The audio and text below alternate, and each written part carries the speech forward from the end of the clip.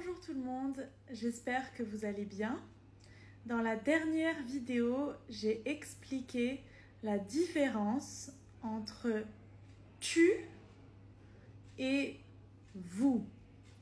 Quand je parle à une personne plus petite que moi, un enfant, ou quelqu'un que je connais, quelqu'un de ma famille, mes amis, quelqu'un que je connais bien, je parle avec la personne, je dis tu, toi. Pour une personne dans un rendez-vous, une personne qui travaille, une personne que je dois respecter, par exemple une personne âgée, je dis vous, madame, monsieur, vous.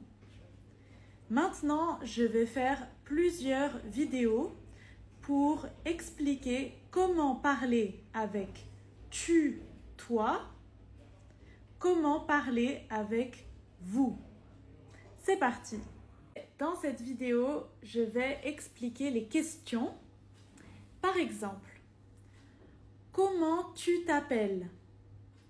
Comment tu t'appelles? Comment vous vous appelez?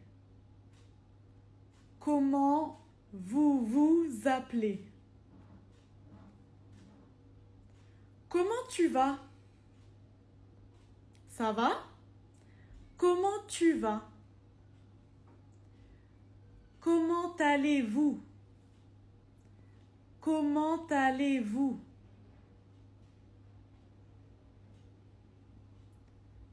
Tu habites où? Tu habites Vous habitez où? Vous habitez où?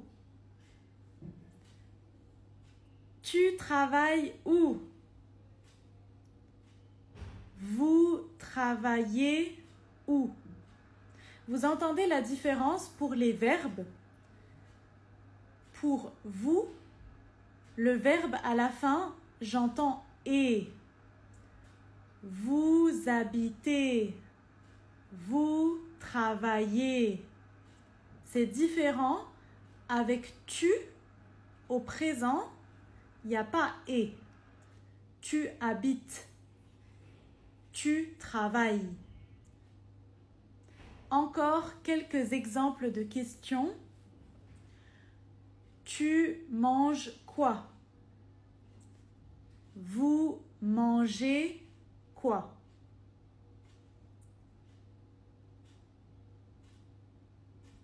Qu'est-ce que tu veux?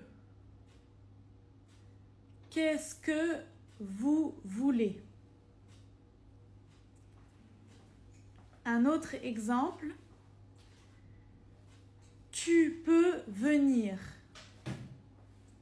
Vous pouvez venir. J'espère que vous avez bien compris. On se retrouve dans l'autre vidéo. Je vais faire une deuxième vidéo avec d'autres exemples sur la différence entre tu et vous. À bientôt!